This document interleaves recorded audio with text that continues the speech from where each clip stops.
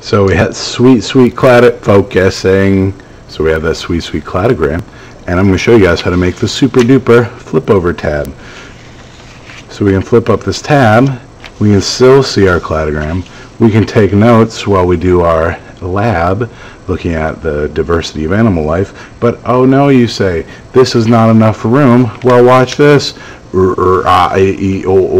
have more room hidden in here. Oh, now we have all this room. You could write nice sketches. You got all your characteristics on your tabs. So it should be uh, really remarkable and wonderful. Before we get too crazy in here, I just want to show you guys how this works. This tab here is full part folds under like that, and then this part folds over. So really in it from the other side, if it's totally unfolded and super extended out, we've got one fold here where it kind of makes a little pocket, and then this part can just get folded under like that. Don't worry if you're still not getting it. Give the video a shot. So you have your cladogram and uh, it's probably not this ugly because this was the last one in the snappy box. But effectively what we're going to do is we're going to take this bad boy and we're going to put it over top of it. Now you'll notice you have a fresh one, has all your phyla all laid out, and the lines should hopefully line up unless uh, it's crooked, it's also definitely crooked, so it's going to be real fun. Now I found it's easiest to do the accordion fold last. See how this one has a nice accordion fold separating each of the phyla. That's really nice because then when it's flipped up, right, you've got nice lines where you can, uh, you know, just, it makes it visually appealing so you can see that Porifera goes with Porifera. So, to do this, you're going to start with yours, which is fresh. And uh, a lot of paper shuffling. And the first fold you're going to do, you're going to take this bad boy, you leave this alone because that's where we're going to glue. You're going to take your new one, and just, you're going to fold it in half. So you take the new one, fold it exactly in half, give it a nice crease rooney, see, and so it could slip over real nice like that. glue it down, flop it up, but that's not going to be enough room when we are doing our lab.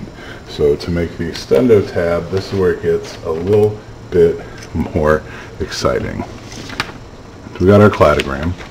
We've got our new paper that we just folded in half. This part where it says glue here. We want to fold it in half so that the part that says glue here comes up. So we fold it in half. Take this part that we just folded, not the whole thing, just the part that we folded. We're going to fold that back in half, almost like we're making a nice, beautiful accordion. So now that we have our accordion, right, we've got it half, half, go ahead and unfold your accordion. And then we're going to take the ridge fold we just made, we're going to take it straight to here. So effectively we're going to fold this part in the middle here in half. So to take the fold you just made, take it to the fold we made before, and then crease it. So we can still see that glue here. Alright, so we got one more thing to do before we put the glue here where it says glue here. We're just going to take our little friend, the cladogram super over tab. We're just going to fold it halfway between each of the phylum names make a little accordion. So, so I'm going to take it. You may want to smooth your folds out a little bit because it's going to get fun. I'm just going to fold it over. See, there's a Echinodermata, there's chordata, about halfway like that. Blap folded. Then flip and make an equal fold. This is called the accordion fold because we're just going to flip and back and flip and forth.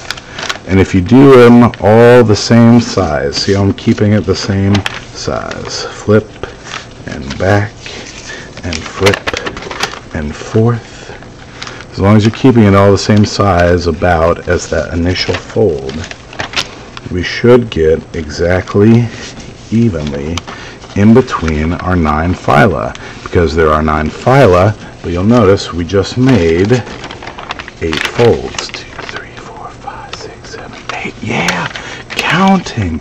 Then flatten it out, flatten it out. Those lines are just for divisions. So go ahead and rub it on your desk if you need to, flatten it out, flatten it out.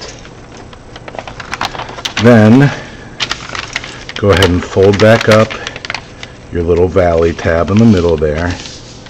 Then you'll put your glue here. Wee! Glue is my favorite kind of glue. It gets on the paper and it makes it glued. It's going to glue that tab right on the edge of your paper. See how it's going on there? Real good and definitely not all crooked and crappy like I'm doing, but you're going to do a good job because you guys care about that.